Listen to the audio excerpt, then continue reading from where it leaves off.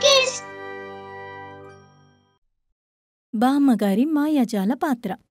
ధీరజ్పూర్ అనే ఒక గ్రామంలో సూరజ్ ఇంకా సంజయ్ అని ఇద్దరు స్నేహితులు ఉండేవారు. వాళ్ళు గోధుమలు పప్పులు బియ్యం అమ్ముతూ ఉండేవారు. ఇద్దరిలో సంజయ్కి అత్యాశ ఎక్కువ. ఎప్పుడూ తన వస్తువుల్ని పెద్దగా చెప్పుకొని ఎక్కువ ఖరీదుగా అమ్ముతాడు.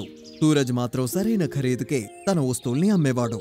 పేదవాళ్ళకి వయసైన వాళ్ళకి సహాయం చేసేవాడు. ఇద్దరు ఇప్పుడు వాళ్ళ వస్తువుల్ని కలిసే తీసుకువెళ్ళేవారు సూరజ్ ఎక్కువగా వస్తువులను అమ్మేసేవాడు కానీ సంజయ్ ఇప్పుడు అమ్మలేకపోయేవాడు. బియ్యము పప్పు కొనుక్కోండి రండి రండి. పప్పు ధర ఎంతో చెప్పండన్నా? మూడు కాసులు. ధర బాగా ఎక్కువగా చెప్తున్నారే. అలా అయితే కొనకు ఇక్కడి నుంచి వెళ్ళిపో. ఒకవైపు సూరజ్ దగ్గర పూర్తిగా గుంపు చేరిపోయింది. తీసుకోండి. నేను అందరికీ ఇది ఇస్తాను. నువ్వు ఇంత తక్కువ ధరకి పప్పులు అమ్ముతున్నావు కదా? కానీ మిగతా వాళ్ళందరూ మూడు కాసులకి అమ్ముతున్నారు. మరి నువ్వెందుకని రెండు కాసులకు అమ్ముతున్నావు? నేను కూడా మిగతా వాళ్ళ మూడు నాణాలకు అమ్మితే అప్పుడు మీరు వచ్చి నా దగ్గర కొనరు కదా. నేను అమ్మడం కోసమే ఇక్కడికి వచ్చాను. కాబట్టి ఇవి ఎంతకు అమ్ముడుపోతాయో అంతకే అమ్ముతాను. అరే సూరజ్ మన రెండు వస్తువులు ఒకేలా ఉన్నాయి. కానీ నీ సామానంతా నువ్వు అమ్మేస్తున్నావు. నా సామాను మాత్రం అలాగే ఉండిపోతోంది. సంజయ్ అన్న మీ వస్తువులని మీరు ఎప్పుడూ ఎక్కువ ధరకే అమ్ముతున్నారు. అలాంటప్పుడు మనం ఎక్కువ వస్తువులని అమ్మడం చాలా కష్టం అవుతుంది కదా. అరే సూరజ్ మనం కష్టపడి ఒక గ్రామం నుంచి ఇంకో గ్రామానికి వెళ్తున్నాం. కష్టపడి తీసుకొచ్చినందుకు వెల ఎక్కువ పెట్టే అమ్మాలి కదా. అది నిజమే కానీ అంత ధరిచ్చి ఎవరు కొంటారు? సంజయ్ అన్న పేదవాళ్ళు అంత డబ్బులిచ్చి కొనలేరు కదా. సరే సూరజ్ ఉండని. నువ్వు నాకు నేర్పించకు నీ పని నువ్వు చూసుకో. అలా అని చెప్పి వాళ్ళిద్దరూ ఒక ఊరికి వెళ్తున్నారు. అక్కడికి వెళ్ళిన తర్వాత ఇద్దరు వేరువేరు వైపుకి వెళ్ళి వాళ్ళ వస్తువుల్ని అమ్మడం మొదలుపెట్టేశారు. రండి బియ్యము గోధుమలు పప్పులు. తొందరగా వచ్చి కొనుక్కోండి మీకోసమే వచ్చాం. ఇలా అరుస్తూ సంజయ్ అందర్నీ తన దగ్గరికి రమ్మని పిలుస్తూ ఉన్నాడు. తన గొంతు విని దూరంగా ఉన్న ఒక బామ్మగారు ఇంట్లోపలికి వెళ్ళి ఆమె భర్తతో ఇలా అంటున్నారు. వినపడుతోందా? బయట పప్పులమ్మేవాడొచ్చాడు. మన ఇంట్లో ఉన్న వస్తువులన్నీ అయిపోయాయి. త్వరగా వెళ్ళి కొనుక్కురండి. రేపు వండడానికి మన ఇంట్లో ఏమీ లేవు. అవునవును నిజమే. సరైన సమయానికే గుర్తు చేశావు. కానీ ఇంతవరకు మనం దాచుకున్న డబ్బంతా పూర్తయిపోయింది కదా. డబ్బు ఇవ్వకుండా వాళ్ళు మనకి వస్తువులు ఎలా ఇస్తారు? ఇప్పుడు ఏం చేయాలో నాకు అర్థం కావట్లేదు. రేపటి నుంచి మనం ఏం చేస్తామో అర్థం కావట్లేదు. ఇలా చూడండి మన ఇంట్లో మీ నాన్నగారి పాత పాత్ర ఒకటుంది. అది ఇస్తే ఏమైనా ఇస్తాడేమో చూద్దాం. ఆ పాత గిన్నెతో మనకి ఏం దొరుకుతున్నట్టావు? బియ్యమో పప్పులో ఏదో ఒకటి ఇస్తాడు. ఆలోగా మన అబ్బాయి నగరం నుంచి తిరిగొస్తాడు. అంతవరకు మనకు తినడానికి ఏమైనా ఉంటే బావుంటుంది మన అబ్బాయి తిరిగొస్తాడు కదా. సరే సరే. మనం వెళ్ళి అతనితో మాట్లాడి చూద్దాం. తాతగారు ఇంటి బయట నుండి వెళ్తున్న సంజయ్ని పిలిచారు. తనతోటి ఏమన్నారంటే ఇలా చూడు బాబు నీ దగ్గరున్న బియ్యాన్ని ఎంతకు అమ్ముతావు ఒకటి ఐదు కాసులకు అమ్ముతున్నాను తాత. బాబు ఇప్పుడు మేము బియ్యం కొనుక్కునే స్తోమత మా దగ్గర లేదు. కానీ ఒక పాత గిన్నె మాత్రం మా దగ్గర ఉంది. దాన్ని తీసుకుని నీ దగ్గరున్న బియ్యంలో మాకు కాస్త ఇవ్వగలుగుతావా? అలా ఇస్తే నీకు మేము ఎంతో రుణపడి ఉంటాం. సంజయ్ ఆ పాత గిన్నెని చూసి ఏమన్నాడంటే ఇదిగో చూడు తాత దీనికి ఒక గుప్పెడు బియ్యం కూడా ఇవ్వడం కుదరదు. ఈ గిన్నె చాలా పాతదిగా ఉంది. ఇది నాకు ఎందుకు పనికిరాదు? అయినప్పటికీ ఒకసారి చూస్తాను ఇటు ఇవ్వండి సంజయ్ ఆ గిన్నెని చేతిలోకి తీసుకుని రుద్ది చూశాకే ఆ గిన్నె మామూలుది కాదు ఒక బంగారం గిన్నె అని తెలిసింది. మనసులో అత్యాశ పెరిగిపోయింది. దీనివల్ల తను చాలా ధనవంతుడైపోతాడు అనుకున్నారు. ఇది కూడా తనకి ఉచితంగా దొరికింది అంటే ఎందుకు బియ్యాన్ని ఊరికే ఇవ్వాలనుకున్నాడు? లేదు లేదు. ఈ గిన్నె నేను ఉంచుకుని ఏమీ చేసుకోలేను. దీనికి బదులుగా మీకు ఏమీ ఇవ్వలేను. ఇది నాకెందుకు పనికిరాదని చెప్పానుగా. అలా అని చెప్పి ఆ గిన్నెని బామ్మ దగ్గర విసిరేసి వెళ్ళిపోయాడు. ఆ తర్వాత అక్కడి నుంచి బయలుదేరిపోయాడు. పాపం ఆ తాతయ్య బామ్మ ఆ ఇంటి బయటే బాధపడుతూ ఏం చేయాలో తెలియక కూర్చొనున్నారు అప్పుడు కాసేపటి తర్వాత సూరజ్ తన బియ్యాన్ని అమ్ముకుంటూ అటువైపు వచ్చాడు. ఆ వయసైన వాళ్ళని సూరజ్ అప్పుడు చూసేశాడు. వాళ్ళ దగ్గరికి వెళ్ళి సూరజ్ ఏమన్నాడంటే ఏమైంది బామ్మ? ఎందుకు మీరు ఇలా కూర్చున్నారు? మీకేదైనా సమస్య ఉంటే మొహమాట పడకుండా నాకు చెప్పండి. ఏదో నేను చేయగలిగిన సహాయాన్ని నేను చేస్తాను. ఇలా చూడు నువ్వు చాలా మంచివాళ్ళ ఉన్నావు.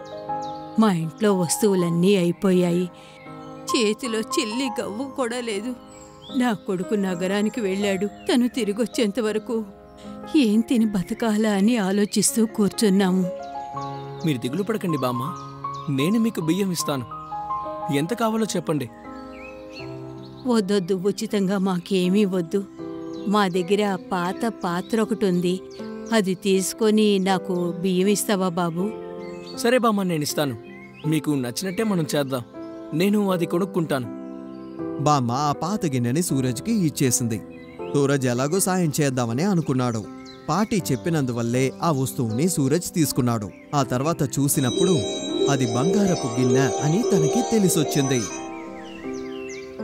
బామ్మా ఇది బంగారంతో చేయబడింది. ఇది కొనుక్కునేంత డబ్బు నా దగ్గర లేదు బామ్మా. బాబు ఇంతకు ముందొచ్చిన అతను ఇది దేనికి పనికిరాదని విసిరేసి వెళ్ళిపోయాడు. కానీ నువ్వేమో పాత్ర తీసుకోకుండానే బియ్యం ఇస్తానంటున్నావు నువ్వు చాలా మంచివాడివి. నీకేం తోస్తే అలాగే చేయి బాబు. బామ్మా నా దగ్గరున్న డబ్బు ఇంకా ఈ బియ్యం ఇవన్నీ మీరే ఉంచుకోండి. కానీ నేను తిరిగి ఇంటికి వెళ్ళడానికి నాకు కొంచెం డబ్బు ఇవ్వండి సూరజ్ తన దగ్గరున్న డబ్బులు ఇంకా వస్తువులన్నిటినీ బామ్మ తాతయ్యలకి ఇచ్చేసి కాస్త డబ్బులు మాత్రం ఉంచుకుని తన ఇంటికి తిరిగి వెళ్ళిపోతున్నాడు. ఇంకొక వైపు సంజయ్ ఎలాగైనా ధనవంతుడు అవ్వాలని చెప్పి కలలు కంటూ అలా తాతయ్య బామ్మల దగ్గరికి వచ్చాడు. బామ్మ సరే ఆ పాత్ర ఇటు ఇవ్వండి నేను మీకు కొంచెం బియ్యం ఇస్తాను. ఆ గిన్నెనిటి తీసుకురండి.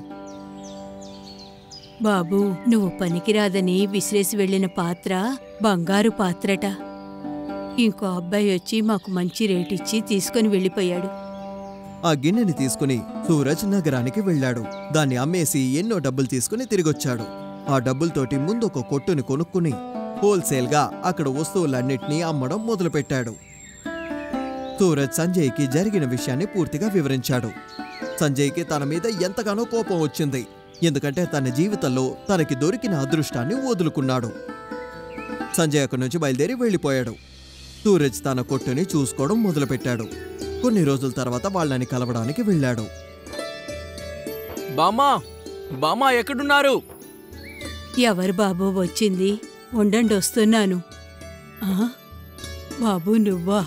అవును బామ్మా నేనే. మిమ్మల్ని కలవడానికే ఇక్కడికి వచ్చాను. కొన్ని వస్తువుల్ని కూడా తీసుకొచ్చాను. ఆ, కానీ బాబు. లేదు బామ్మా ఇందుకు మీరు డబ్బులు ఇవ్వాల్సిన అవసరం లేదు. నేను మీకు దీన్ని ఫ్రీగానే ఇవ్వడానికి వచ్చాను.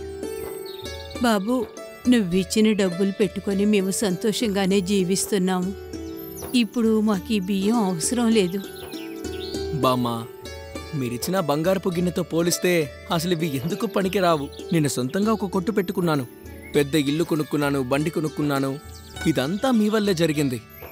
నేను ఈ ప్రపంచంలో ఎన్నాళ్ళు ఉంటానో అప్పటి వరకు ప్రతి నెల మీకు బియ్యం పంపిస్తూ ఉంటాను. అవి కాకుండా మీకు ఇంకా ఏమైనా అవసరం అయితే తప్పకుండా మీకోసం నేను సహాయం చేస్తాను. నువ్వు సంతోషంగా ఉండాలి. నువ్వు మాకెంతో సహాయం చేసావు ఆ దేవుడు నిన్ను చల్లగా చూస్తాడు. సూరజ్కి ఎంతో మంచి పేరు ఆ ఊర్లో వచ్చేసింది.